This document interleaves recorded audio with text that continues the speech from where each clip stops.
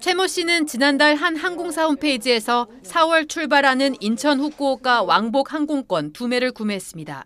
바로 다음 날 표를 취소하려고 했더니 항공사는 전체 가격 40만 8천 원에서 수수료 8만 원을 빼고 돌려주겠다고 했습니다. 다른 사람이 예약을 한다면 충분히 갈 수 있는 기- 시간이라고 생각을 했거든요. 수수료가 무조건 발생된다라는 식으로 말- 전자상거래법엔 계약 후 7일 이내엔 청약 철회가 가능하다고 돼 있지만 항공사는 재판매가 불가능하다는 등의 이유로 이렇게 환불을 거절하거나 각종 수수료를 떼는 경우가 많습니다. 최 씨는 소비자원에 신고하고 나서야 전액 환불받았습니다. 사용하던 모니터를 팔기 위해 배송을 의뢰한 김모 씨는 모니터가 깨진 채 도착했다는 구매자의 연락을 받고 택배사에 배상을 요구했지만 거절당했습니다.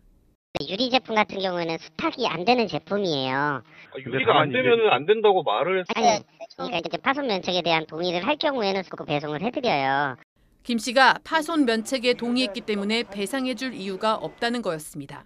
중고 상품이기 때문에 파손 면책이 무조건 들어간다라고 저는 고지를 받았는데 사업자는 어, 파손 면책의 동의 여부만 살필 것이 아니라 수치 거부 등 적극적인 조치가 있었어야 한다고 봅니다. 지난해 항공권과 택배에 대한 소비자원 상담은 13,000여 건으로 1년 전에 비해 14% 증가했습니다. 소비자원은 설 연휴를 앞두고 수요가 몰릴 것으로 예상되는 항공권과 택배, 상품권에 대해 소비자 피해 주의보를 발령하고 환급 규정과 거래 조건 등을 꼼꼼히 살필 것을 당부했습니다. SBS 정현입니다.